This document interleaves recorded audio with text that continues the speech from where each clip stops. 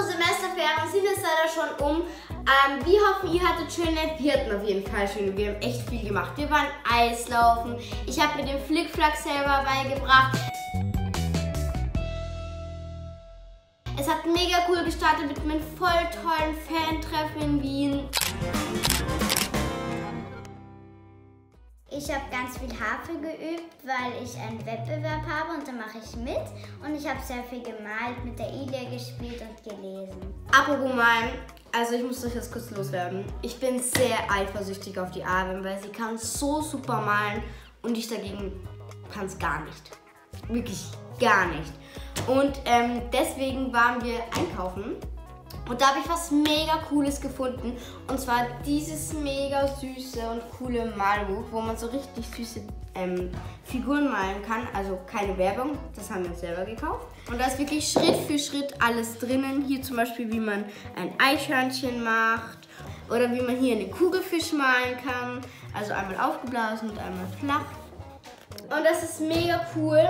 Und ihr könnt uns heute ein bisschen zuschauen, wie wir üben. Also Leute, wirklich, es ist nur üben. Es ist jetzt noch nicht das perfekte Zeichen.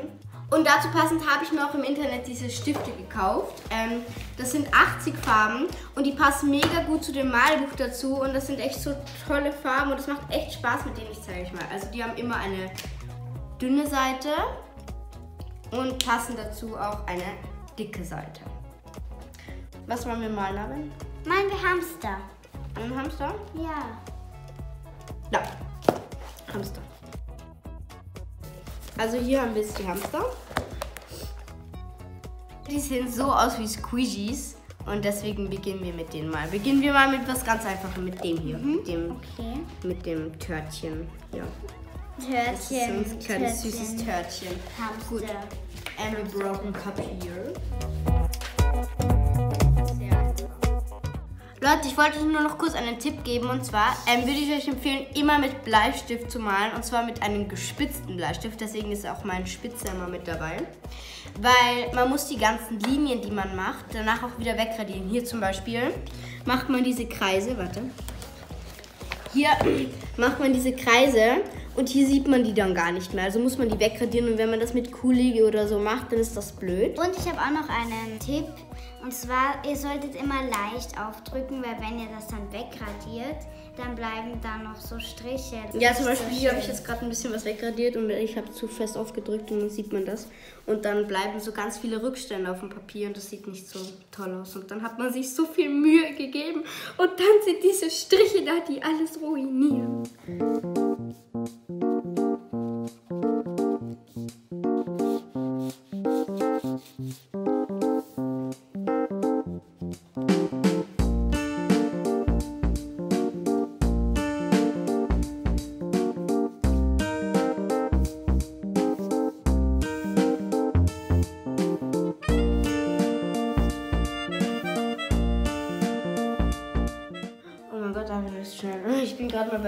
Öhrchen. Hm, ich muss da noch das wieder wegradieren.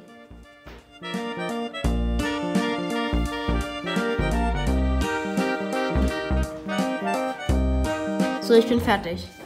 Ich auch. So, das ist jetzt das Ergebnis. Meins ist ein bisschen dick. Egal. Aber wenn ihr auch Hamster so sehr liebt wie wir, macht alle mal ein Hamster-Emoji unten in die Kommentare. Das war jetzt aber sehr einfach. Jetzt machen wir einen stehenden Hamster. Okay, das ist der.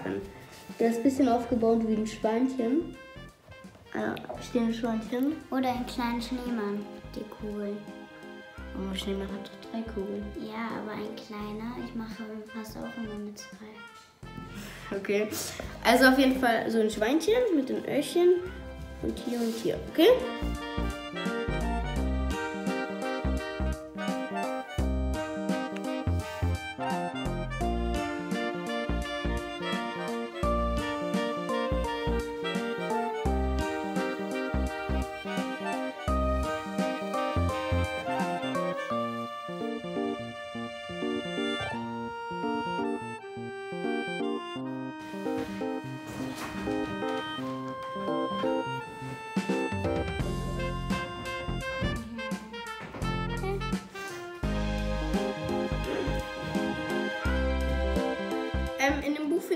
Cool, dass eigentlich die Basis immer, ein, immer was mit einem Kreis zu tun hat. Oder einem Dreieck, also diese Grundformen halt. Und das macht das Ganze ein bisschen einfacher. Und hier habe ich jetzt meinen Hamster. Das ist zwar ein bisschen ein dicker Hamster, aber ich finde dicke Hamster knuffig und süß. Ähm, und jetzt muss ich eigentlich dann noch Augen und Mund machen und dann ist eigentlich im Grunde schon fertig.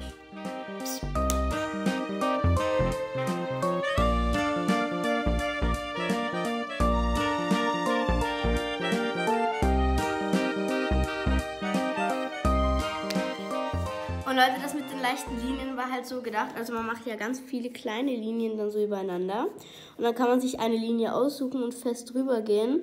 Und wenn man es dann ähm, wegradiert, so, dann hat man die ähm, Stärke halt noch da und dann tut man sich äh, leichter mit dem Nachziehen und so. Man hat eine bessere Orientierung. Das ist einfach viel besser.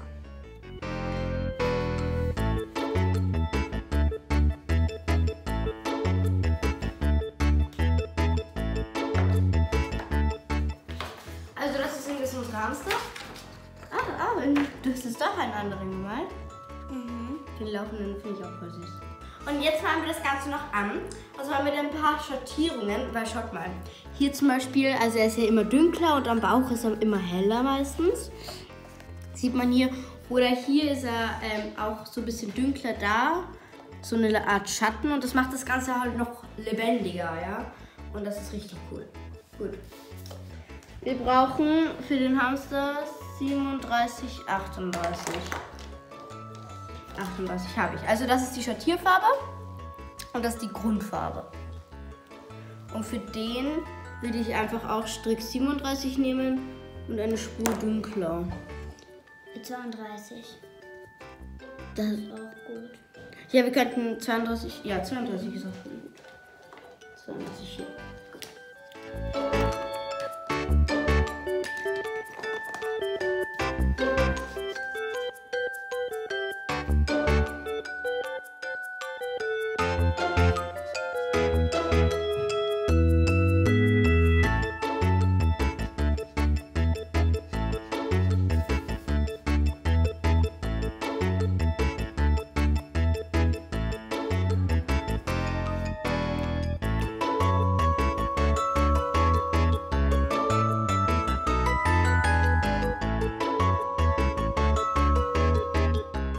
So, das sind hier unsere fertigen Ergebnisse. Ich hätte nicht gedacht, dass ich mit so wenig Aufwand einen so süßen Hamster hinkriege.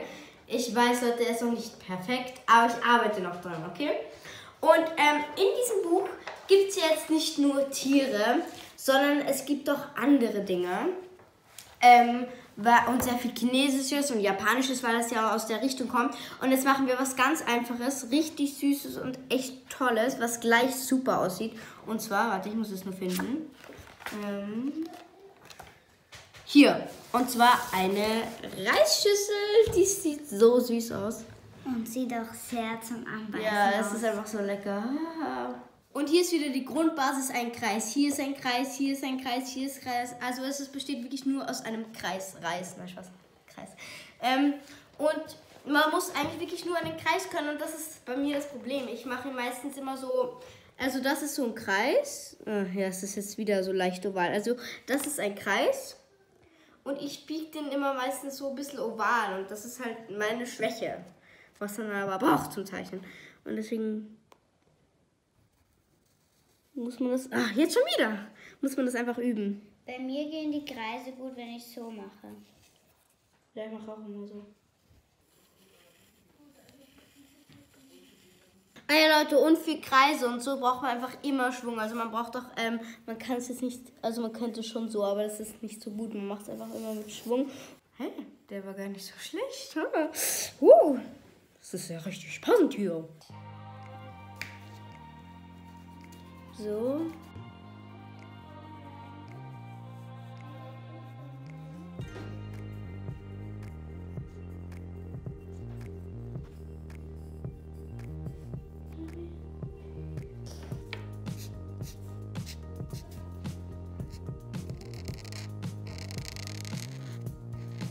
Ich mache eine türkise Reisschüssel.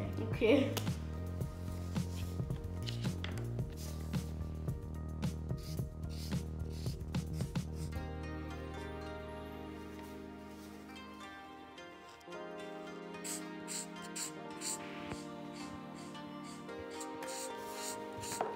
Voll cool aus.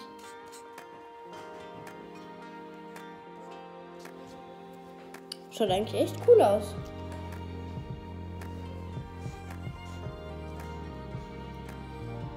So, das sind jetzt unsere fertigen Zeichnungen. Was sagt ihr?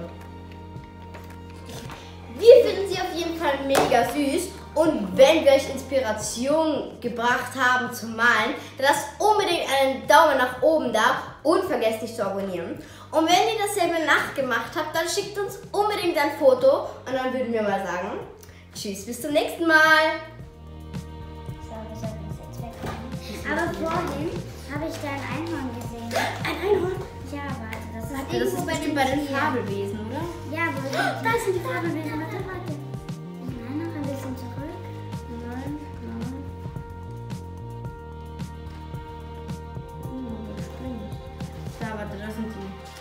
Oh, das